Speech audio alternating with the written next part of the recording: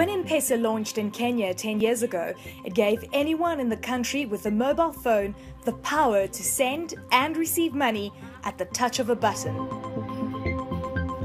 Today, billions of transactions later, M-Pesa is used for everything from bill payments to food purchases.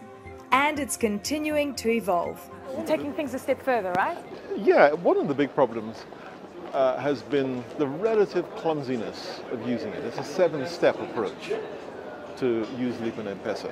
And so we've developed this card and we've been trialing it, and it's a tap and pay. Bob Collymore is the CEO of Safaricom and largely credited for growing M-Pesa to what it is today. This debit card is one of several new ways to use the M-Pesa platform. There is also now an app and savings and loan products. It's, it's fascinating to see the dynamics, the competition that is going to arise from all these new disruptions.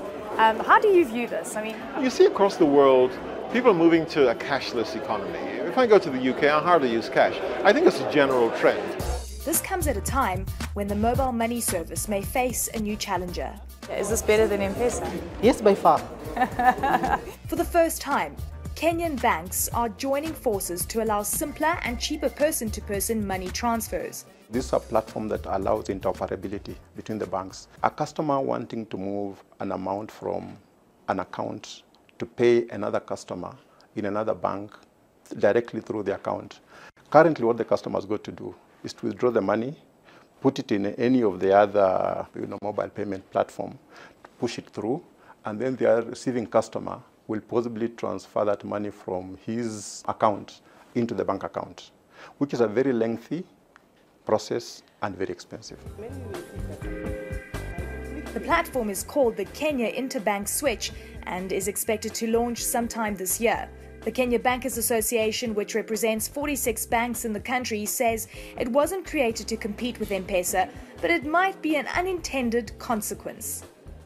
Given the economics of the product, I think you'll find customers moving over and preferring to use our product, even though we have not positioned it as trying to compete with existing players in the market.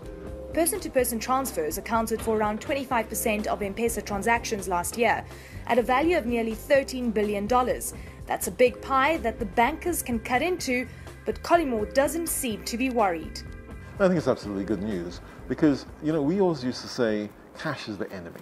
And why is it the enemy? Because it provides security challenges. It economically doesn't make any sense, so holding cash as savings doesn't make sense. As soon as you put it in the mattress, it loses value. And, and even today, more than 90% of transactions are still cash-based.